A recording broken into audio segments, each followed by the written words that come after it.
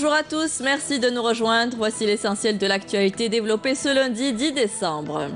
Ouverture ce matin de la conférence nationale sur le principe de l'exception d'inconstitutionnalité organisée par le ministère de la Justice en collaboration avec le programme des Nations Unies pour le développement, le PNUD.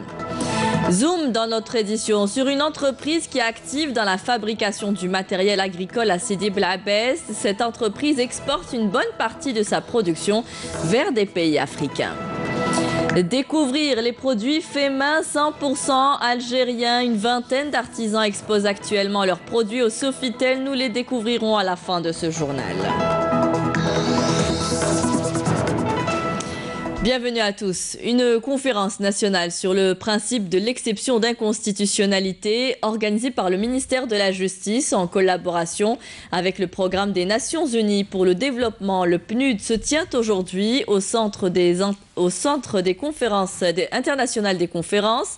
L'ouverture a eu lieu en présence du président du Conseil constitutionnel Morad Medelsi et du ministre de la Justice garde des Sceaux Tayyip Le principe de l'exception d'inconstitutionnalité consacré par la Constitution révisée en 2016 et qui sera effectif à partir de mars 2019 est une procédure, je vous le rappelle, permettant à l'une des parties au procès de contester une disposition législative si elle estime qu'elle porte atteinte à ses droits et libertés garantis par la Constitution.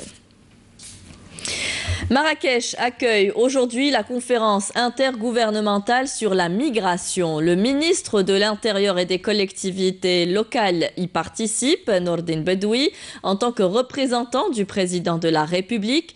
Près de 160 des 193 pays représentés à l'ONU y participent, avec une centaine d'entre eux représentés au niveau des chefs d'État, chefs de gouvernement ou ministres. À l'ouverture des travaux, le pacte mondial sur les migrations des Nations Unies a été formellement approuvé après proclamation orale et avec le traditionnel coup de marteau devant quelques 150 pays réunis en conférence intergouvernementale. Ce texte destiné à renforcer la coopération internationale pour une migration sûre, ordonnée et régulière doit encore faire l'objet d'un ultime vote de ratification le 19 décembre à l'Assemblée générale des Nations unies. Nous célébrons ce 10 décembre le 70e anniversaire de la Déclaration universelle des droits de l'homme. À cette occasion, le Conseil national des droits de l'homme appelle les institutions et les organes de l'État, les organisations de la société civile ainsi que tous les citoyens pour contribuer efficacement à la promotion des droits de la personne humaine et de la défense des libertés fondamentales. En Algérie, le CNDH, en sa qualité d'institution nationale constitutionnelle, réitère sa détermination à exercer pleinement toutes les prérogatives qui lui sont dévolues. À travers la consécration de l'égalité et de l'inaliénabilité des droits humains, l'Algérie n'a eu de cesse de promouvoir les principes des droits de l'homme, laquelle promotion s'est traduite sur le terrain par, entre autres, les amendements en 2016 de la Constitution et la loi des procédures pénales. A-t-elle enseigné que l'expérience algérienne en la matière est devenue un véritable exemple pour les pays désirant instaurer la justice sociale les Nations Unies ont fait du 16 mai la journée mondiale du vivre ensemble qui n'est autre qu'un acquis pour les droits de l'homme. Et cela atteste de la place importante qu'occupe l'Algérie. Euh, dans la justice algérienne, la protection des droits de l'homme s'est traduite par la réforme de l'instance législative dans le cadre du programme du président de la République et par l'introduction d'un nouvel article portant sur le principe de l'exception d'inconstitutionnalité et qui n'est autre qu'une procédure permettant à l'une des parties au procès de contester une disposition législative si elle estime qu'elle porte atteinte à ses droits et libertés garantis par la Constitution. Dans le nouvel arsenal juridique a été introduit et utilisé pour la première fois le concept de jugement équitable dans la loi du 27 mars 2017 euh, qui a amendé le Code de procédure pénale dont le premier article mentionne le jugement équitable. Un autre exemple, le bracelet électronique ou encore la prise en charge humanitaire des prisonniers. Par ailleurs, l'égalité des chances est l'un des droits élémentaires consacrés par l'État algérien, lequel garantit de jouir des droits humains comme l'accès aux soins, l'éducation, les droits des handicapés, la lutte contre l'analphabétisme, les droits de la femme dans la représentation représentativité politique et sa participation aux côtés de l'homme, notamment pour ce qui est des chances d'accès à l'emploi. Comme les pays et les États épris de paix et de justice, l'Algérie œuvre notamment à travers le Conseil national des droits de l'homme à promouvoir les droits de la personne humaine et la défense des libertés fondamentales, en poursuivant la voie prônée par les hautes autorités du pays à consolider l'édification de l'état de droit et à l'ancrer davantage dans la pratique quotidienne de tout un chacun. Le ministre des Affaires religieuses et des était ce matin l'invité de Nejma Harish dans l'émission Bonjour d'Algérie. Mohamed Issa est notamment revenu sur l'événement exceptionnel qu'a abrité notre pays ce week-end à Santa Cruz à Oran, la béatification de 19 personnalités catholiques. Pour le ministre des Affaires religieuses, c'est là un symbole du vivre ensemble, un message de tolérance et d'acceptation de l'autre dans lequel veut s'inscrire l'Algérie. On écoute sa déclaration. Nous fêtons actuellement le 12e anniversaire euh, pour la euh, charte pour la paix et la réconciliation nationale. Nous fêterons le 28 février le 12e anniversaire de la proclamation de cette charte en loi sur la paix et la réconciliation nationale. Ce que nous appelons actuellement l'acculturation, l'échange des idées entre les Algériens et entre les citoyens et leur euh, gouvernance a permis de changer les mentalités et d'accepter ce qui s'est passé sur l'esplanade du Vivre Ensemble à côté de Santa Cruz le samedi dernier. Le message du Saint-Pape qu'il a envoyé, a, qui a été lu en son nom au peuple algérien, mais aussi aux familles des chrétiens, mais envers surtout le président de la République, c'est la reconnaissance que l'Algérie donne l'exemple actuellement. Elle donne l'exemple universel d'un pays terre d'islam, qui accepte l'autre, qui protège l'autre, qui communique avec l'autre qui dialogue avec l'autre. Nous avons été les premiers à avoir demandé à ce qu'il y ait une journée internationale pour le vivre ensemble et nous avons été les premiers à avoir concrétisé réellement dans une ambiance de sincérité, d'échange, d'amour et d'amitié, ce vivre ensemble. Je sais bien que la béatification n'est pas la première à être organisé dans un pays musulman. Mais avec cette ampleur, c'est la première. C'est le témoignage que j'entendais hier soir de la part du cardinal Béchaud qui le disait. Je crois que nous avons donné l'exemple. Lorsque nous additionnons cet événement à celui de la contribution algérienne dans la région, mais surtout au niveau européen, même américain, dans la déradicalisation, lorsque nous conjuguons cela et nous l'ajoutons à ce que nous fournissons en matière de formation des imams pour les pays du Sahel et l'envoi d'imams modérés pour organiser les prières des pauses durant le mois de Ramadan dans toute l'Europe, ainsi qu'en Amérique, spécialement au Canada. Je crois que c'est un pays qui se lève, je crois que c'est un pays qui donne euh, l'exemple, je crois que c'est un pays qui a pu apprendre des fautes qu'il a commises auparavant de la dérive et du dévoiement qui a été celui des Algériens durant la décennie noire. Et la, charte pour la paix et la réconciliation nationale est venue pour les aider. Le ministre du Commerce demain au Caire, Saïd Djileb, doit participer à la première édition de la foire commerciale africaine sous le thème Pour un changement en Afrique. La foire est organisée en partenariat avec l'Union africaine qui vise à promouvoir les échanges commerciaux entre les États africains et intercontinentaux libres. Les envois de fonds vers l'Algérie faits par la diaspora devraient se chiffrer à 2,557 milliards de dollars en 2018 contre 2 milliards en 2017 selon le dernier rapport de la Banque mondiale sur l'immigration et les transferts de fonds publiés à Washington. Le montant prévu représente 1,1% du produit intérieur brut de l'Algérie, précise le rapport. Si cette précision est confirmée, il s'agira alors de la première progression depuis après cinq ans de stabilisation. Tunis accueille ce lundi les travaux de la 38e Assemblée générale de l'Union de radiodiffusion des États arabes, l'ASBU. Le directeur général de l'EPTV, Tofik Khladi, y prend part. L'ASBU, une organisation qui, je vous le rappelle, favorise l'échange interarabe en matière d'audiovisuel.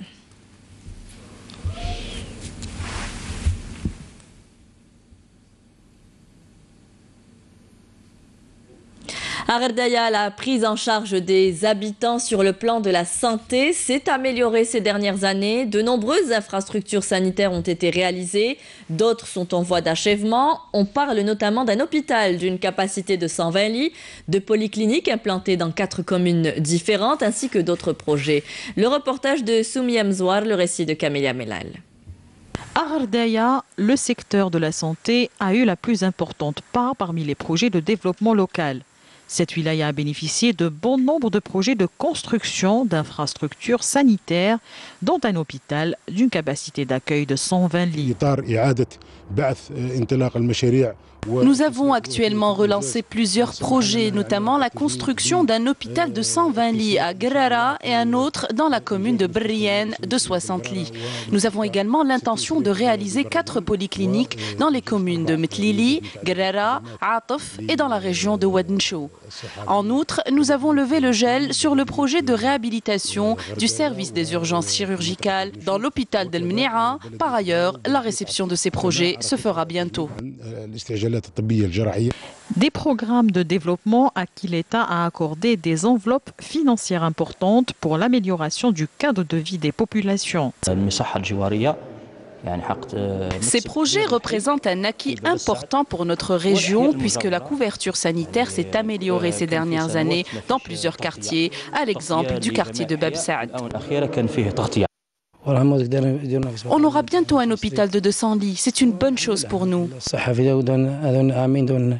D'importants projets ont donc été achevés, d'autres sont en cours de réalisation.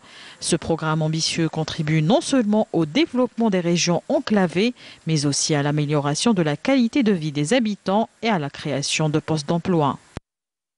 FAMAG, une entreprise de fabrication de matériel agricole implantée dans la zone industrielle de Sidi Blabès qui voit grand. Grâce à ses six lignes de production et ses 300 ouvriers qualifiés, cette entreprise qui innove exporte une bonne partie de sa production vers des pays africains. Elle compte également devenir leader national dans le tracteur agricole. Le reportage de Qdor Djouabi, commentaire de Karim Haïfa. 6 000 tracteurs sortent chaque année de cette usine de fabrication de machines agricoles avec un taux d'intégration industrielle de l'ordre de 35 Ici, on fait le montage de tracteurs agricoles avec une puissance de moteur de 26 à 110 chevaux, selon les attentes et les besoins de l'agriculteur algérien. Aujourd'hui, nous avons un taux d'intégration de 35%. Nous comptons arriver d'ici 2019 à 45% de taux d'intégration. L'entreprise qui exporte depuis quelques années vers des pays voisins compte relever un défi, celui de couvrir 50% du marché algérien des tracteurs agricoles. Nous avons déjà exporté nos tracteurs vers l'Égypte et la Mauritanie. Et maintenant, nous sommes en train de négocier des contrats pour exporter notre production vers la Tunisie et le Sénégal. Une exportation qui a boosté les finances de l'entreprise qui emploie aujourd'hui plus de 300 ouvriers qualifiés dans les six lignes de production de l'usine. Occasion est un projet né d'une collaboration entre l'Algérie et l'Union européenne et dont le secteur de la formation professionnelle tire profit. Son principe, apprendre des métiers un maximum de jeunes qui n'ont pas eu l'occasion de s'inscrire dans les centres de la formation euh, professionnelle. Un sujet de Amaria Nahari, commentaire de Hassiba Abdullah. Pour ceux qui ont raté cette année les inscriptions de la formation professionnelle, une deuxième chance leur est proposée, notamment avec cette école agréée par l'État et créée par l'association Essaha d'Oran. Grâce à cette dernière, plus de 80 jeunes profitent actuellement d'une formation dans différentes spécialités. J'ai raté les inscriptions de la formation professionnelle, alors je me suis inscrit dans cette école et j'ai choisi la plomberie parce que c'est un métier qui a de l'avenir. Pour les spécialités électricité et plomberie, les stagiaires ont six mois de formation. Par contre, pour la ferronnerie, la menuiserie, la taille de pierre et la couture, ils ont un an. Et pour les motiver, ces jeunes stagiaires auront le même diplôme que leurs camarades des centres de la formation professionnelle. Lorsque le stagiaire termine sa formation, il passe un examen de validation dans le centre de formation professionnelle. Ainsi, il aura le même diplôme que les autres jeunes formés dans ces centres. Cette initiative est en réalité un projet nommé Occasion qui s'inscrit dans le cadre du programme d'appui à l'adéquation, formation, emploi, qualification cofinancé par l'Algérie et l'Union européenne. Des associations de différentes wilayas se sont lancées dans ce programme. Dans le cadre de ce projet, notre association se chargera notamment de la formation de 30 jeunes dans le domaine de la restauration des anciennes bâtisses, à l'exemple de Nedroma qui est une ville historique avec une casbah. Le projet Occasion vise à mettre la formation en harmonie avec les besoins du marché de l'emploi, et ce en rapprochant les entreprises économiques du système de la formation professionnelle. Dans le cadre de la lutte antiterroriste, un détachement de l'ANP a découvert et détruit hier lors d'une opération de fouille et de ratissage à Ain de Fla deux casemates pour terroristes et une bombe de confection artisanale selon un communiqué du ministère de la Défense nationale. Dans le cadre de la lutte contre la contrebande et la criminalité organisée, un détachement combiné de l'ANP a intercepté à Bouira un narcotrafiquant en possession de 17 kg de kif traité, tandis que des éléments de la gendarmerie nationale ont arrêté à Sétif et à Béchar un narcotrafiquant et saisi près de 4 kg de kif traité et 528 comprimés psychotropes. Par ailleurs, des gardes-côtes ont appréhendé Schlef 12 personnes à bord d'une embarcation de construction artisanale, tandis que 11 immigrants clandestins de différentes nationalités ont été arrêtés à Ingezem. En France, le président français Emmanuel Macron doit rencontrer aujourd'hui des partenaires sociaux et des responsables politiques pour tenter de trouver une sortie à la crise des Gilets jaunes qui déstabilise le pouvoir. Ces manifestations, par ailleurs, eu un impact important économique en ces périodes de fête. Naïma Haouch. C'est une crise à trois facettes qui secoue l'Hexagone. Une crise sociale avec les sujets liés au pouvoir d'achat, une crise démocratique avec une représentativité politique insuffisante et une crise de la nation face à des fractures territoriales importantes. C'est le constat fait par Bruno Le Maire, ministre français de l'économie, qui n'y va pas avec le dos de la cuillère. C'est pour ça qu'il y a urgence désormais à retrouver le chemin du dialogue pour travailler ensemble aux réponses que nous apportons à tous ces Français qui sont excédés par le niveau des taxes et des impôts et qui sont euh, excédés de ne pas arriver à s'en sortir alors même qu'ils travaillent. Mais ça ne peut se faire que dans la paix, que dans le dialogue et certainement pas dans la violence. Les euh, commerçants qui euh, ont besoin de notre soutien auront le soutien total de, l'État et ma présence et celle de la secrétaire d'État Agnès Pannier est un signal très clair la solidarité de l'État vis-à-vis de tous les commerçants. Emmanuel Macron se prononcera ce soir. Son intervention est très attendue. Elle serait décisive pour le devenir du mouvement des Gilets jaunes. Pour Bruno Le Maire, le président saura trouver les mots appropriés. Pour Alain Juppé, le maire de Bordeaux, théâtre d'importantes dégradations samedi soir, Emmanuel Macron doit répondre, il doit se montrer compréhensif. Euh, les conséquences, je le répète, sont donc absolument désastreuses et cela doit cesser. Cela doit cesser comment? D'abord, il faut que le président de la République parle, et parle vite, et qu'il tienne un discours fort à l'intention des Françaises et des Français. Euh, un discours d'autorité, bien sûr, mais aussi un discours de compréhension, d'empathie, parce que beaucoup des revendications des Gilets jaunes responsables méritent d'être prises en considération. Au-delà des revendications des Gilets jaunes, c'est toute la République qui serait menacée. Le gouvernement est sur un pied de guerre. Le chef de la diplomatie française, Jean-Yves Le Drian, se dit inquiet pour la démocratie et les institutions françaises, notamment après certains appels à l'insurrection. Quand j'entends un certain nombre de déclarations, euh, je suis inquiet. J'espère que ce sont des déclarations qui dépassent ce qui les professent. L'insurrection est là. J'entends dire ça. L'insurrection est en marche. C'est pas la République, ça, à ma connaissance. C'est sans doute pas la sixième République, en tout cas. Ce que je propose au président de la République, c'est qu'il parle de la mise en œuvre d'un nouveau contrat social de la préparation de ce que doit être euh, le partage social au XXIe siècle, l'État-providence au XXIe siècle. Qu'est-ce que c'est? C'est plus la même chose qu'auparavant. Et nous sommes devant cette situation qui a provoqué euh, les éruptions que vous connaissez, les protestations des uns et des autres, et souvent avec raison.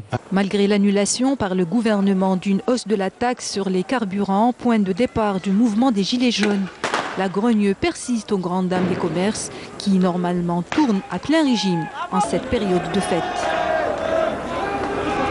On va euh, parler à présent des anciennes civilisations euh, des monts euh, des Babors. Les massifs montagneux des Babors ont connu de nombreuses civilisations humaines à partir de la fin du deuxième siècle. La tribu bavare, venue de Mauritanie occidentale, s'est installée au niveau des monts des Babors. De nombreux édifices liés à cette période existent sur différents sites au niveau de cette région. Rahim Abdelaziz nous les fait découvrir. Avant l'arrivée des tribus bavares, ces massifs montagneux furent habités par des populations autochtones. Les flancs nord et sud des Babors ont connu de nombreux foyers civilisationnels grâce aux multiples richesses floristiques, faunistiques et hydriques dont dispose cette région. Des facteurs favorables qui ont aidé l'homme à s'établir dans ces contrées, et ce depuis déjà l'époque néolithique.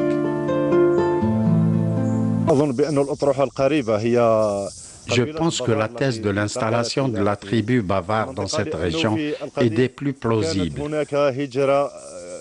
Les époques reculées ont enregistré d'importants flux migratoires à partir de la Mauritanie occidentale vers l'Algérie actuelle. La datation exacte de ces migrations est des plus imprécises. Il reste évident que cette tribu des Bavars s'est établie dans cette région.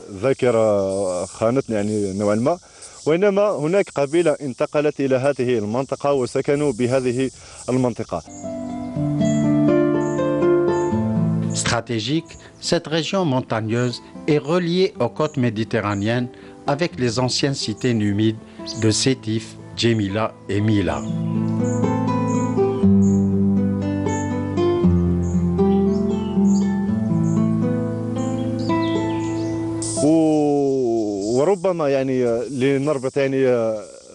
Dans ce même ordre d'idées, on retiendra que la région de Egmoun abrite une ancienne civilisation.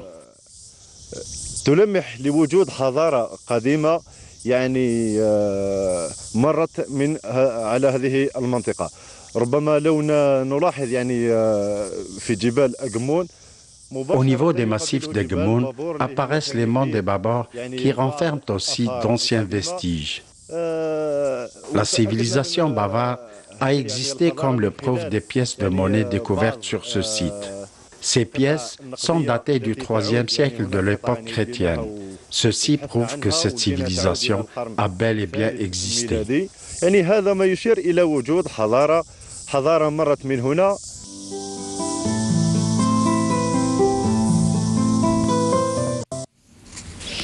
Des produits faits main dans le domaine du cosmétique, de l'art et même culinaire sont présentés actuellement dans le hall de l'hôtel Sofitel à Alger. Une vingtaine d'artisans exposent leur savoir-faire, des produits qui gagnent ces dernières années en qualité. On découvre cela avec euh, Emel Boudbouda.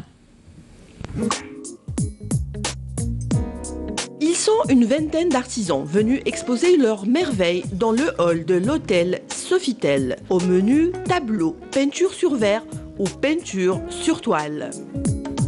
Euh, ce qui a marché le plus, bon, c'est surtout, euh, bon, y a la, calligraphie abstraite, euh, que j'en ai vendu pas mal. Ce sont des pièces uniques euh, voilà. Alors, euh, les, tableaux qui représentent des cadettes aussi, ça plaît beaucoup. Et bien sûr, euh, ces longs tableaux avec les façades maritimes et, les voûtes surtout, ça, ça a été le, le coup de cœur de pas mal de gens. Le vêtement africain, qu'il soit moderne ou traditionnel, les créations Arcadie vous emporteront grâce aux couleurs chatoyantes de l'Afrique. Arcadie, ça veut dire racine. Art, voilà, l'art. Et c'est pour dire que mon art me vient de mes racines, en fait, mes racines africaines, que je revendique. La base en fait de ce que je fais, c'est le wax. Le wax c'est un tissu coloré, c'est un tissu de coton de très bonne qualité. Et euh, du coup, euh, j'ai voulu en fait confectionner un peu de tout, tout ce qui est mode, tendance, dans le wax en fait. Ce qui est tendance, c'est le bombers en ce moment. Et j'ai fait des bombers dans le wax parce que je revendique euh, ces couleurs-là. Cette exposition, les palais gourmands ont leur part grâce au chocolat et aux dates fourrées de Dar el Henna. Les miens quittent le monde pharmaceutique pour sa passion culinaire. J'ai fait une reconversion après ma retraite et je me suis mise aux dates fourrées tout en respectant justement les principes de diététique. Ce sont des dates fourrées à la pâte d'amande, donc 100% amande, sans colorant, sans additifs, sans extrait et également allégées en sucre. Donc on peut se faire plaisir sans culpabiliser, sans se faire du mal. Un autre art est représenté par un artisan venu de Mostaganem, avec un entonnoir et quelques accessoires spéciaux, et il réussit à créer de jolis tableaux dans des bouteilles. Le sable en bouteille, il se fait avec cet outillage, un entonnoir. C'est pour faire couler le sable à l'intérieur de la bouteille et de l'orienter. Et le dessin, il se fait avec un bout de métal.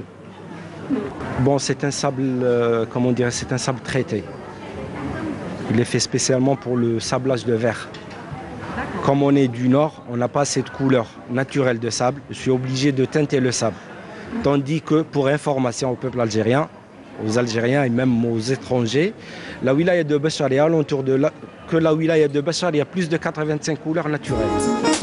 Le marché artistique est le lieu idéal pour dénicher un présent ou tout simplement se faire plaisir. Les artisans vous attendent jusqu'au 31 décembre.